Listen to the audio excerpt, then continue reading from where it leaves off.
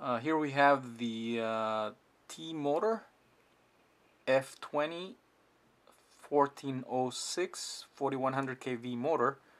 Uh, this one I bought from uh, Banggood. I just got the single motor for testing. I was curious to see how how it would do compared to uh, all the other 1407 motors. This being a 1406 and uh, with uh, rather somewhat high kV value.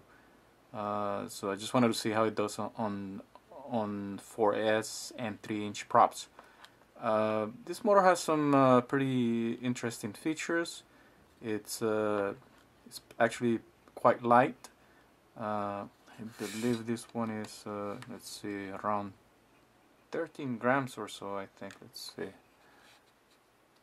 uh, yeah 12.8 grams or so. Uh, that includes the uh, uh, the wires the, the lead wires which are about about uh, 80 80 millimeters.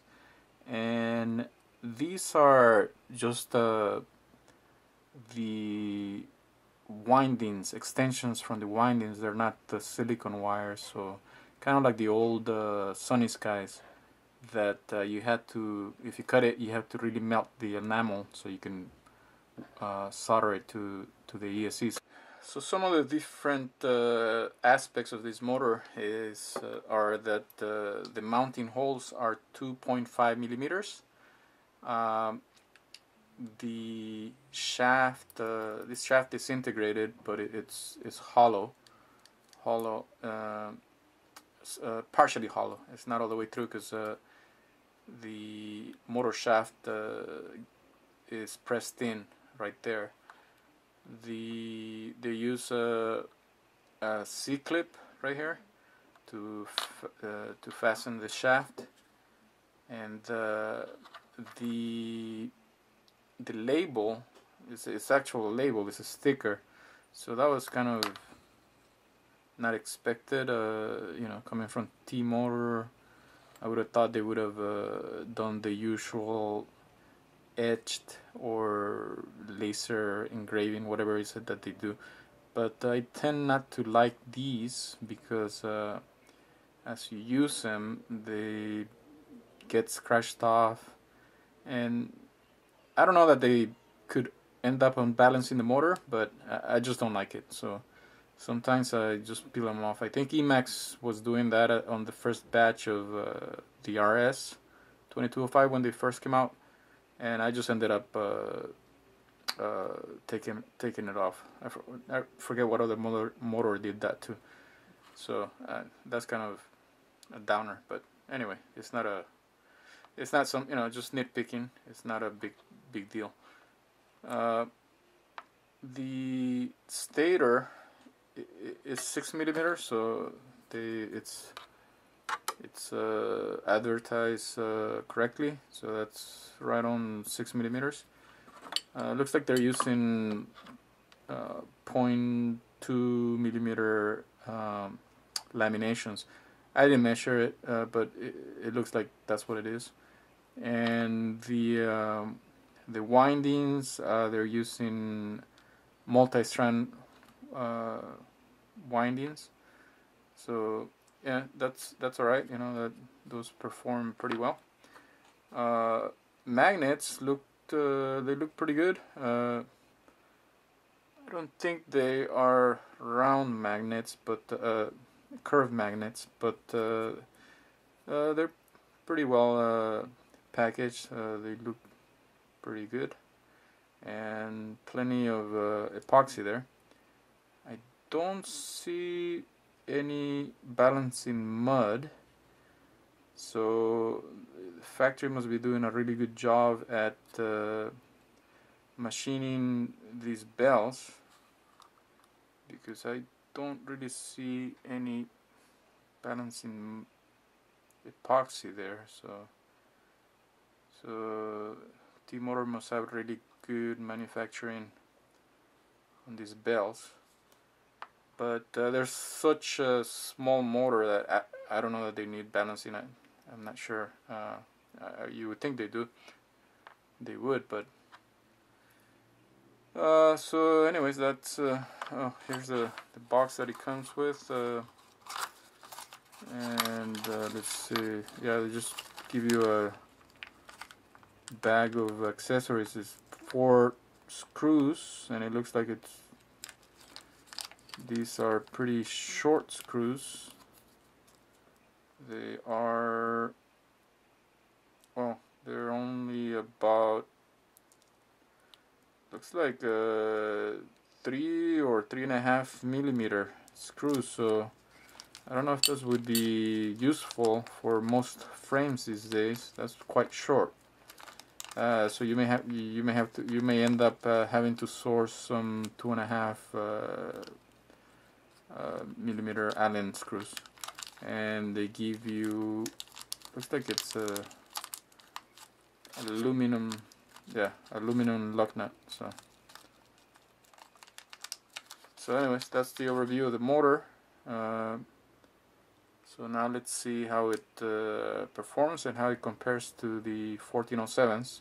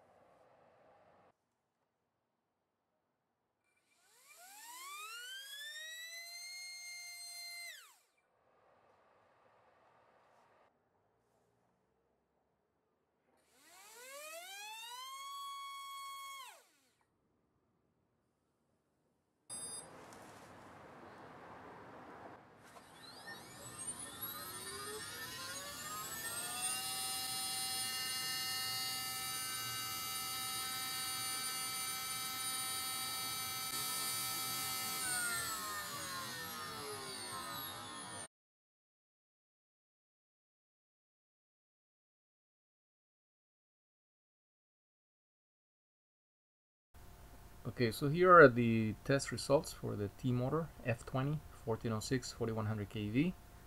Uh, these are 4S test. The 3S results I have later on. I'll do another table for that uh, later on. I just wanted to get these uh, out uh, sooner and 4S uh, just seemed to be the one that people might be the most interested in.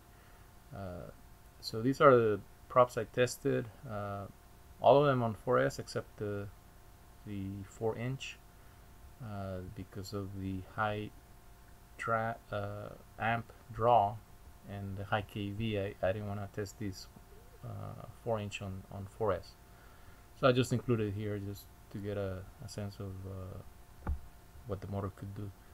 Um, uh, as I said pretty pretty high amp although keep in mind these are uh, these are momentary max numbers on a static thrust uh, stand. So in the air uh, of course uh, these amperage is not it's not going to be as high and also the the thrust is going to be less uh, but the main thing is the amperage. So once flying this will be lower. I, I usually say about 25 to 35 percent lower. So uh, but on this small scale of motors I, I, I actually I haven't really checked how much lower because it's kind of hard to strap the uh, power meter on the on a tiny copter. Uh, so I guess I don't know just to be on the safe side uh, maybe 25% less or so. So still that's a little bit a little bit high for this uh, high kV motor. I think for 3 inch probably 3600 3500 kV is probably the best match for 3 inch props on 4S. Uh, I don't know if, if, how many people are running this motor on 4S. I haven't really checked uh, YouTube to see who's running it and how how well it's done. But uh, the numbers are pretty good uh, as far as thrust throughout the the whole uh, test here. so one of the best props as usual is the RotorX 3 by 4 by 3 uh, 617 but uh, amps are pretty high so uh, I'd be checking for motor temps if you plan on running this on 4S so if you just got them and you're gonna or if you're just gonna try 4S I'd, I'd like go for a quick uh, fast lap and and land it and check motor temperatures make sure they're not uh, overly hot you should be able to to firmly grab them and hold them uh, and without you know burning through your hand uh, so comparing uh, test results against the uh, the king of the micromotors, the uh, Brother Hobby 1407 3600 kV. Uh, let's see. Let's see how it compares. Uh, let's see the uh, Team Racecraft 3x3x4. Uh, it's uh, almost about the same, about the same thrust. However, the amps on the T motor are higher. As I said, it's a higher kV and a smaller, slightly smaller stator, so it needs to work harder to make that same thrust. Uh, also, you know, the lower kV usually has a little bit more torque, so it doesn't have to struggle at the top end. Uh, next one is the compare this uh, RotorX 3 by 4 by 3 uh, 617 on this one so so we can see here that uh, the, the this prop is so good that uh, you know it's it's uh, it just spins uh, effortlessly. So we can see here that uh, so the higher the high kV that prop is really really coming into its own right here. 617 grams versus 600 on the T motor. So right here the the KV is uh, doing uh, its part. uh, again uh, higher amps uh, you know so let's see the other one is uh, the DYS 3 by 3 by 3 so that one is 556 on the Brother Hobby and uh, 595 on the on the T motor. So a little bit higher, uh, a little bit more amps. So the motor is actually quite powerful, but uh, you know it'll consume the battery at a higher rate. Uh, uh, the, I, I, was noticing though that the um, it, it, was getting a little bit warm after each uh, run so that's why I was saying that uh, if you run it on 4S just make sure you you check your temperatures because it, it did run a little bit little bit hot on the on the max thrust test uh, whereas the uh, the lower kV motors uh, Brother Hobby and the other ones I tested uh, they they handle the heat a little bit better so uh, that also happened on the Emax 4, uh, 1306 4000 kV. That one was also getting kind of toasty, so uh, so that's something to watch out for. And I I do have the results for the Emax here. So let's look at the difference between the 1406 and the 1306. Uh, this here on the right is the Emax. Uh, let's see, DYS uh, 3x3x3, 442, and versus 595. So uh, this one's doing much better. Again, uh, little bit more amps. This was only drawing 13 amps, so this one looks like it's uh, it just doesn't have the torque to drive that prop. Uh, most of these props, anything any higher. Uh, X 471 versus 617, so a big difference, you know, with the with the larger stator. Uh, so then, uh, yeah, overall, uh, pretty pretty good motor. Uh, uh, one of the advantages is it's pretty light, so this would would go really well on a super light three inch build, uh, and it, it, seems that it'll, it'll take 4S, but uh, again, uh, don't uh, just be careful about it. I mean, I'm not, I, I can't say I would 100% uh, say that it, will it'll do fine on 4S. Uh, just again check the temps, the motor temps, or search to see if people are running this one on 4S already. So if it's proven, then no no problem.